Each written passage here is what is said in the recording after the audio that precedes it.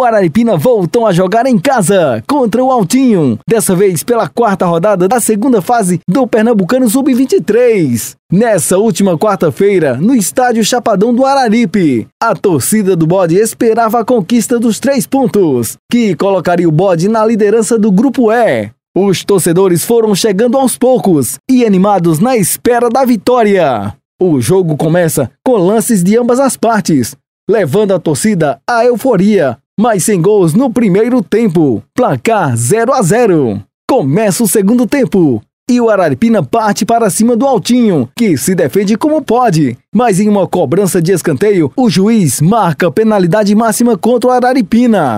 E o Araripina se segurar, partiu lá, lá, bateu, tá lá dentro. Altinho! Gol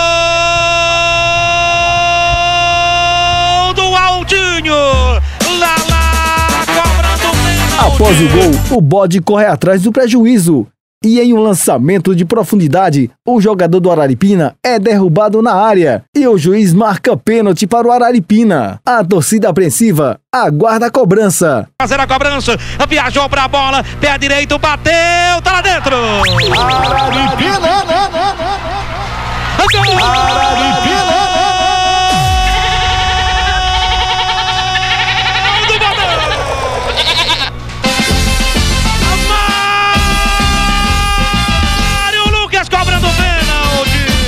Depois do empate, o Altinho dribla a arbitragem. Jogadores começam a se deitar no gramado, fingindo dores, para garantir o empate. Final do jogo,